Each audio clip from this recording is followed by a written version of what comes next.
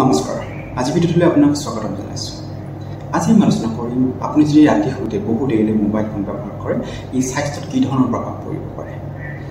নৱপ্ৰজন্মৰ আজিকালি যুৱক যুৱতীয়ে দেখা যায় প্ৰায় সংখ্যকে বহু ৰাতিলৈ মোবাইল ফোন ব্যৱহাৰ কৰে ফেচবুক কৰে ইনষ্টা কৰে বিভিন্ন ধৰণৰ ছ'চিয়েল নেটৱৰ্কিং ছাইটসমূহ ব্যৱহাৰ কৰি থাকে বহু দেৰিলৈকে শুৱে তাৰ ফলত স্বাস্থ্যত কি ধৰণৰ প্ৰভাৱ পৰিব পাৰে আজি আমি এই বিষয়ে আলোচনা কৰিম। আহক আজি ভিডিঅ'টো আৰম্ভ কৰোঁ।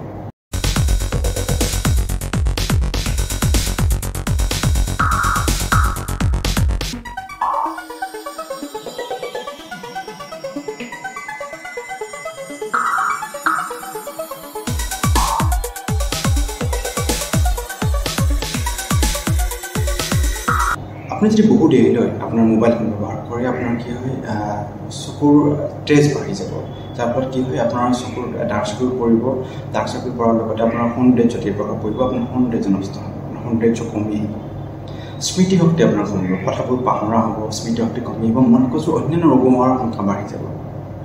চকুৰ যিটো ফকাচিং মাচুল আছে তাত বেয়া প্ৰভাৱ পৰিব যাৰ ফলত আপুনি অস্পষ্ট দেখা হ'ব আপুনি ধোঁৱা ধোঁৱা দেখা হ'ব আপুনি যদি বহু দেৰিলৈ মোবাইল ফোন ব্যৱহাৰ কৰি থাকে বহু ৰাতিলৈ আপোনাৰ অনিদ্ৰাৰ সমস্যা টোপনি ঠিকমতে নহা হ'ব আপোনাৰ টোপনি নাহিব ৰাতি বহুত দেৰিলৈ আপুনি দেৰি কি হ'ব যিহেতু মোবাইল ফোন ব্যৱহাৰ কৰি আৰু আপুনি দেৰিলৈ টোপনিও নাহিব তাৰপিছত আপোনাৰ কি অনিদ্ৰাৰ সমস্যা হ'ব দৃষ্টিশক্তি আপোনাৰ কমি আহিব চকু ৰঙা পৰা এই ধৰণৰ সমস্যাসমূহ হ'ব ছেক্সুৱেল পাৱাৰ কমি আহিব।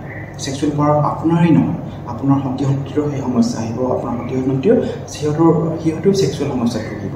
গতিকে আপোনাৰ বহু দেৰিলৈ যদি বহু ৰাতিলৈ যদি মোবাইল ফোন ব্যৱহাৰ কৰা অভ্যাস আছে সেই অভ্যাসখিনি ত্যাগ কৰক আপোনাৰ মেলাটনিন নামৰ হৰমনবিধ কমি আহিব যাৰ ফলত ব্যক্তিগত টেষ্ট ফ্ৰেছ বাঢ়ি যাব অৰ্থাৎ মানসিক সমস্যা বাঢ়ি যাব। গতিকে আপুনি ৰাতি শুওঁতে আপুনি যিমান পাৰে কম মোবাইল ব্যৱহাৰ কৰক পাৰিলে এঘণ্টামান আগতে মোবাইল অফ কৰক। ফোন আপোনাৰ ডাৰ্ক মোডত ৰাখিব ফোন আপোনাৰ ৰিডিং মোডত ৰাখিব বা আপোনাৰ আই কমফৰ্টেবল মোডত ৰাখিব। আপোনাৰ যিমান পাৰে কমকৈ মোবাইল ফোন ব্যৱহাৰ কৰিব। এই ধৰণৰ সমস্যাসমূহ আপোনাৰ হোৱাৰ সংখ্যা নাথাকিব। আজিলৈ এইখিনি। পৰৱৰ্তী পৰ্যায়ত আকৌ এটা বেলেগ বিষয়লৈ আপোনালোক প্ৰস্তুত হওঁ ধন্যবাদ। নমস্কাৰ।